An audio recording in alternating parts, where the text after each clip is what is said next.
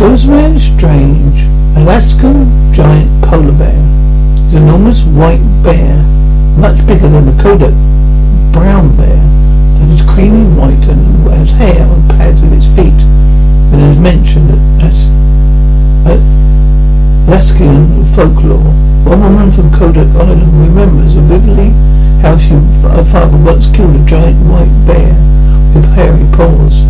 He insisted it was nothing like a Kodiak bear. Yes, Alaskan giant polar bear is also studied in Greenland, Alberta, and in Quebec.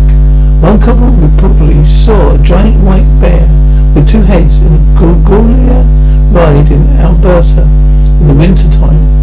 Another sighting in Quebec when a French elder woman was sitting inside a restaurant drinking hot chocolate. We saw a huge white mass of fur running down a hill. An expedition found nothing. Giant polar bears are also sighted in London, far from their home. One was supposed to have invaded a subway train, and one was said to plunge into a small city creek. These great, giant polar bears may be remembered when, when population Ursus Maritimus Tyrannus, otherwise known as the Pleistocene polar bear. This bear was over 11 inches taller than a modern polar bear.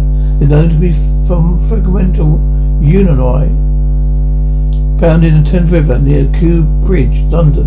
In 2015, History Channel 2 created a monster documentary TV series, Missing Alaska, that centers around Alaskan Triangle, in which 20 years, in which the 20 years each year, people have gone missing by either mythological or mutated creatures.